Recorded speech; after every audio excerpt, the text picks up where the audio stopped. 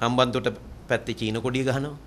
ආ කැරවල පිටි පැත්තේ සමහරට බටහිර රටක කොඩියක් ගහ විහෙට අනිද්දට. ආ දැන් තෙල් ටැංකි සංකීර්ණ හෙට වෙනකොට ඉන්දියාවේ කොඩිය අපේ කොඩිය දෙකමත් ගහයි. ඉතින් මේක මේකද මේ මේ රටේ ජනතාව බලාපොරොත්තු වෙන්නේ.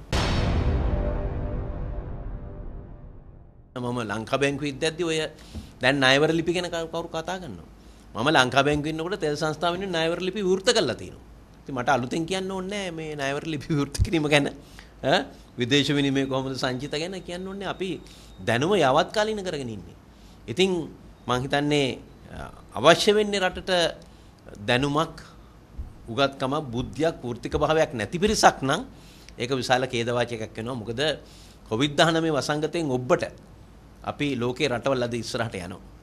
අපිත් එතෙන්ට යන්න ඕනේ. එතෙන්ට යන්න නම් මේ පිළිබඳව සමස්තයක් හැටියට අවබෝධයෙන් යුතු කණ්ඩායමක් මේ කටයුතු මෙහෙවන්න ඕනේ. ඉතින් එහෙම තීන බවක් පේන්න නැහැ. මම පසුගිය සතියේ දෙල්කඳ ඉරිදපොලට ගියාම අපේ හිතවත් මම දන්නේ නැහැ මාධ්‍යවේදියෙක් ඇවිල්ලා මට කිව්වා මම අදහසක් ප්‍රකාශ කරන්නයි කියලා අවමිරිස් රුපියල් 1200යි කියලා. දැන් මට එතනදී කිව්වොත් නෑ නෑ 1200 නෙවෙයි කියලා මට කියන්න බෑනේ. ඒක තමයි යථාර්ථය. එතකොට මම පැහැදිලිව කිව්වා මේ මේ මේ පොළ හදන්න ඉඩම අරන් දුන්නෙත් අපි. මම තමයි කටයුත්ත කළේ 2014. මැදිහත් වෙලා. ඔක තිබුණේ නැත්තම් ඊට මෙහා හයිලෙවල් පාර හයිනේ. ඈ ඉතින් තාම මේ මිනිස්සුන්ට වන්දි ගෙවලත් නැහැ. එතකොට අද පාරිභෝගිකව කරදරයක් නැතු වෙන හැබැයි එදා ඊටාම අඩුයි පාරිභෝගිකව. වෙලෙන්දොත් අඩුයි. භාණ්ඩ මිලත් වැඩි. එතකොට එවැනි අවස්ථාවක අපි ජනතාව පැත්තෙන් කරුණු කියන්න ඕනේ. දැන් පාර්ලිමේන්තුව වසා දමලා. දැන් පාර්ලිමේන්තුවේ කරුණු කියන්නත් බෑ. කණ්ඩායම් රැස්වීමක් තිබ්බනම් ඒකෙදිත් අපිට කියන්න තිබුණා කරුණු. එහෙම කියන්න අවස්ථාවකුත් නෑ. එහෙමනම් මාධ්‍ය මාධ්‍ය අපින් ඇහුවහම ප්‍රශ්නයක් අපි අවංකව උත්තර දෙන්න ඕනේ. එතෙන්දී මේ කවුරු හරි හිතනවනම් අපි ජනතාවගේ නියෝජිතව මම ඡන්දෙන් දිල්ලා තින්නේ හැමදාම. මම ජාතික ලයිස්තු වලින් ඇවිල්ලා නැහැ. සන්ධානයේ ලේකම් හැටත් මම ජාතික ලයිස්තුවකින් ඇවිල්ලා නැහැ. තරඟ කරලා ඇවිල්ලා තින්නේ. ඒ කියන්නේ ජනතාව අපිට ඡන්ද දීලා එවලා තියෙන්නේ. එහෙනම් ජනතා ප්‍රශ්න කතා කළ යුතු තැන්වල කතා කරන්න ඕනේ. නිවැරදි කරන්න අවශ්‍ය අදහස් ප්‍රකාශ කරන්න ඕනේ. ඉතින් යමක් හරියාකාරව සිදු වෙන්නේ නැත්නම් ඒක නිවැරදි තැනකට ගෙන්න අදහස් ප්‍රකාශ කිරීම හිතනවනම් විවේචනය කිරීමක් කියලා සාධාරණ විවේචනයක් ඉවසන්න බැරි නම් හරි අමාරුයි දේශපාලනය කරන්නයි රටක් රටක ඉදිරි කටයුතු සංවර්ධනය කරා ගෙනියන්නයි. ඉතින් ඒක නිසා ඒක ඒක එක පැත්තකින් මේ දැන් අපි දැක්ක පසුගිය කාලය තුල මහාචාර්යවරු තනතුරු දාලා තනතුරු වලින් දාලා ඇවිල්ලා තනතුරු බාර අරගෙන ඒවා යනකොට ඊටම සිත් ඇවුලින් ප්‍රධාන අවස්ථා කීපයක් පහු මම එක වෙනම කියන්නේ නැහැ. මෙයින් කරන්නේ මේ රටේ බුද්ධිමත් ජනතාවගේ බුද්ධියට යම් ආකාරයක කරන සමච්චලයක්. එහෙමයි අපි දකින්නේ. දැන් පාර්ලිමේන්තුවෙන් මම කිව්වා නා හිටා පාර්ලිමේන්තුවේ අය විවාදයේ අවසානයේ කතා කරනකොට කතික වෙලා ඉස්තු ගත්තයින් පස්සේ ඉන්නේ මේ දැන් මං ඇහුවා මේ අපේ ඉන්නෝනේ ඕනතරම් මේ පිළිබඳව උගත් බුද්ධිමත් පිරිස් ඒ අය නෙමෙයි කතා කළේ. කරුණු කතා කරන්න ඕනේ. අද පාර්ලිමේන්තුවේ සංවාදයට ලක් කරන්න ඕනේ මේ කොවිඩ්-19 තත්ත්වය තුළ කොහොමද රජයේ ප්‍රශ්න වලට මුහුණ දෙන්නේ? අපි කොහොමද ජනතාවගේ ප්‍රශ්න විසඳන්නේ? ජනතා හිතවාදීව කටයුතු එහෙම සාකච්ඡාවක් සංවාදයක් වෙන්න ඕනේ. ඉතින් එතෙන්ට පාර්ලිමේන්තුව ගෙන යන්නයි අපිට ඕනකම තිබුණේ. ඉතින් එහෙම කරන ප්‍රකාශات සමහන්ට හිතෙනවා නම් මේක ගැළපෙන්නේ නැහැ කියලා. අපිට අපිට පුළුවන් කමක් නැහැ මහජන නියෝජිතව හැටියට ජනතාවගේ පැත්තෙන් කරුණු කියලා නිවැරදි කරගන්නවා හැර මේක එසේය කියලා එහෙම ඉන්න. ඉතින් ඒවා නොවිසන තත්වයක් තුළ මෙවැනි තීන්දුවක් ගන්න. ඒකට මම වෘත්තිකේ මගේ අලුත් කඩේ කාර්යාලයේ තිනවා. මම නීති නීතිඥයෙකුට කටයුතු කරගෙන හිටියේ. මේක බාරගත්ත හේතුව මම කිව්වා විශේෂම මේ අපේ දරු පරපුර අනාගත ලෝකෙට ගෙනියන්න නම් යම් දායකත්වයක් දෙන්න පුළුවන් නම් එහෙම දෙන්න පුළුවන් හිතාගෙන තමයි බාරගත්තේ. ඉතින් ඒක අවශ්‍ය නැහැ කියලා හිතෙනවා නම් ඊට වඩා සුසුකම් තියන අය ඇති. ඒවට ඒ අයපත් වේවි. ඒතර ඒ අයට පුළුවන් ඒ ඉදිරි කටයුතු රජයේ මඟ පෙන්වීම යටතේ කරගෙන යන්න. හැබැයි අපිටත් අපගේ දේශපාලනයක් තියෙනවා. මම 1991 කෝට්ටේ නගර සභාවට ආවේ අත ලකුණෙන් ශ්‍රී ලංකා නිදහස් පක්ෂය. ඒතර මම සන්ධානයේ පළවෙනි ලේකම්. සන්ධානයේ පළවෙනි ලේකම්. ඊට පස්සේ ඒකිනුත් මම ඉවත් වුණා ඉල්ලාස් වුණා 2015 මැදිතුරෙන් පස්සේ එතනත් හිතට එකඟව කටයුතු කරන්න බැරි වෙච්ච නිසා. ඒ නිසා අපි හැමතිස්සෙම චෝදනාවලට ලක් නොවි අපේ උපරිම ශක්තියෙන් අපේ කටයුතු කළා තිනවා ජනතාව වෙනුවෙන්. ඉතින් ඒ නිසා අපි බලනවා ඉදිරි අනාගත කාලය තුල නව දේශපාලන සංස්කෘතියක් මේ රටේ බිහි විය යුතුයි. ඒ තැනට අද ජනතාව පෙළගැසමින් සිටිනවා. විවිධ දේශපාලන පක්ෂ තම තමන්ගේ මත කියන්න පුළුවන්. නමුත් මම විශ්වාස කරනවා ප්‍රතිපත්තිමය දේශපාලනයක් වටා ජනතාව ගොනු කළා. ඒ ප්‍රතිපත්තිමය දේශපාලනය ජයග්‍රහණය කරවීමයි මේ රටේ ජනතාවට තිබෙන කාර්යභාරය. ඒ වෙනුවෙන් මම කැපවෙනවා. ඔබතුමා විශ්වාස කරනවාද ඔබවැනි ජේෂ්ඨෙක් අයින් කරලා ආණ්ඩුවට එන පීඩනය වළක්ව ගන්න පුළුවන් ඒක මට යමක් කියන්න බෑනේ. ඇමතිවරු පත් කිරීම ඉවත් කිරීම මේ ව්‍යවස්ථාව යටතේ විධායක ජනාධිපතිවරයාට තියෙන බලයක්. ඉතින් ඒ අනුව කටයුතු කරලා තියෙනවා. ඉතින් ඒක අපිට ඒකට අපි ගරු කරනවා. දැන් ඉස්සරහට ඔබතුමා පාර්ලිමේන්තු මන්ත්‍රීවරයෙක් විතරයි. ඔව්. ඒකේදී ආණ්ඩුව ගෙනෙන අනපාත් වලට සහයෝගය දෙනවා.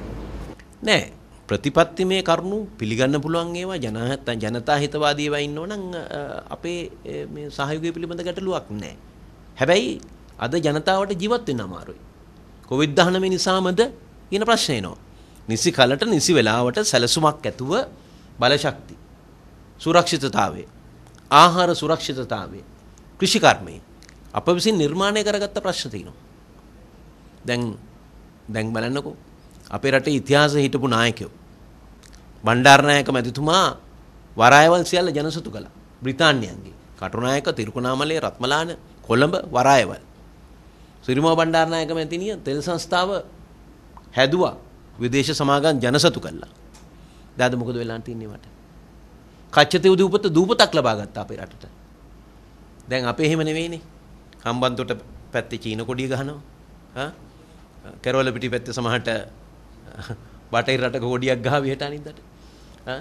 දැන් තෙල් ටැංකි සංකීර්ණ හෙට වෙනකොට ඉන්දියාවේ කොඩිය අපේ කොඩිය දෙකමත් ගහයි. ඉතින් මේක මේකද මේ මේ රටේ ජනතාව බලාපොරොත්තු වෙන්නේ. ඒක තමයි තියෙන ප්‍රශ්නේ. නිසා අපේ රාජතාන්ත්‍රික වශයෙන් ප්‍රශ්න විසඳ ගන්න ඕනේ. අපේ හිටපු නායකයෝ ඒකට ආදර්ශයක් දීලා තිනවා. ආදර්ශ දීලා තිනවා. විදේශ ප්‍රතිපත්තිය හරියට මෙහෙवला තිනවා. දැන් අද එහෙම නෙමෙයිනේ. දැන්. දැන් ඒක නිසා මම හිතන්නේ දීර්ඝ වශයෙන් කතා කරන්න අවශ්‍ය නැහැ. ඔබ ප්‍රශ්නයක් ඇහුවොත් ඕන එකට මට උත්තර දෙන්න පුළුවන්. ඉතින් මම මේ මෙතනින් යන්නේ ජනතාව අතරට ඒ වගේම වෘත්තිය හැටියට මගේ නීතිඥ වෘත්තිය නැති කරන්න කාටවත් බෑනේ නේද? එතා මං ඒ ඒ වෘත්තියේ මම යෙදෙනවා. එතකොට දැන් අපි දකිනවා නිතරම මේ විමල් වීරවංශලා උදේ ගමන්දලා ආණ්ඩුව විවේචනය කරනවා. ඒවට ඔබතුමා ඊළඟ කරගත්තේ කියලා විශේෂයෙන් ඒක මට කියන්න පුළුවන් කමක් නැහැ ඒ ගැන අදහසක්. හැබැයි එතුමන්ලටත් තියෙන ප්‍රශ්නය මේ රජයත් ජනාධිපතිතුමත් බලයට ගෙනීමේදී රටේ ජනතාව ඉදිරියේ තැබූ ප්‍රතිපත්තිමේ කරුණු වලින් බැහැරව යනවා නම් එයාට මතුවලා තිබෙන ප්‍රශ්නේ පීඩනීය තරම තමයි ඒ අය ප්‍රකාශ කරන්නේ.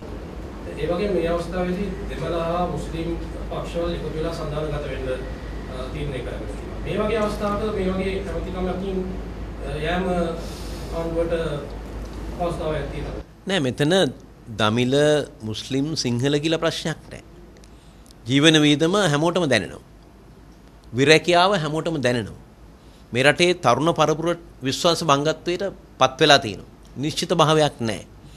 විදේශක රටවල ඉගෙනගත්ත දරුවන්ට අද ප්‍රේෂණ මේ මේ මුදල් විදේශ මුදල් යවා ගන්න බැරි වෙලා තියෙනවා. ඉතින් මේ වගේ බරපතල ගණනු ගණනාවක් තියෙනවා. ඉතින් මේවා එකිනෙක අරගෙන මේවා පිළිබඳව සාකච්ඡා කරලා ඒවා විසඳා ගැනීමේ ක්‍රමවේදයකට අපි යන්න ඕනේ. ඉතින් ඒවා ඒවා යන්නේ නැත්නම් ඒව ගැන අපි අදහස් ප්‍රකාශ කරන්න අවශ්‍යයි. ඉතින් එහෙම අදහස් ප්‍රකාශ කිරීම කීපයක් මම කළා තියෙනවා. දැන් පාර්ලිමේන්තුව කියන්නේ ව්‍යවස්ථා හදන තැන. එතන වෙන කොහෙවත් ව්‍යවස්ථාවක් හදලා පාර්ලිමේන්තුවට ගෙනාවම අපි මොකද කරන්නේ?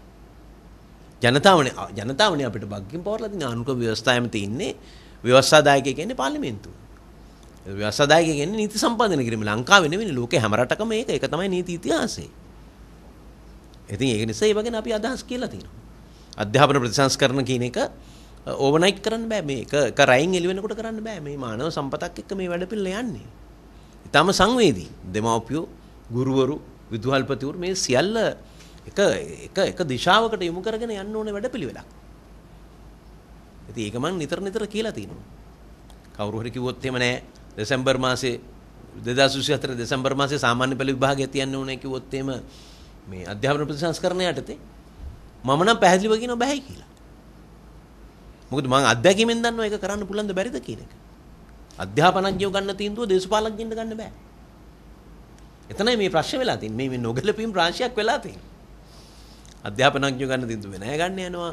කෘෂිකර්ම විද්‍යාව පිළිබඳව පරීක්ෂණ කළා කුඹුරේ වැඩ කරන ගොවියෝ පැත්තකින් තියලා තීන්දුව ගන්නවා.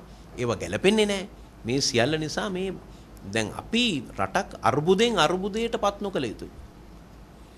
අර්බුදයක් අපි විසඳන්න ඕනේ. දැන් ඉංග්‍රීසියෙන් කියනවා නම් ක්‍රයිසිස් එකක් අපි විසඳන්න ඕනේ. ඒක ක්‍රයිසිස් ටු ක්‍රයිසිස් වුණොත් විශාල ප්‍රශ්නයක් නේ. ඉතින් ඒ නිසා ඉදිරි කාලේදී වුණත් ආණ්ඩුව නිවැරදි මඟට ගන්න අවශ්‍ය කරන අදහස් අපි නොපැකිලව නොබියව ඉදිරිපත් කරනවා. දැන් වඩාත් නිදහසක් තියෙනවා. මොකද තීන්දුව ගන්න තැන්වල අපි කොහෙත්ම නැහැනේ දැන්. එතකොට අපේ අදහස් අපිට ප්‍රකාශ කරන්න හැකියාව තියෙනවා. අපි බලනවා මේ රටේ ඉදිරි කාලය තුල නව දේශපාලන සංස්කෘතියක් ගොඩනැගීමේ ප්‍රවණතාවයන් තියෙනවා. ඒකට අපිට පුළුවන් මට්ටමින් දායකත්වය ලබා දෙනවා.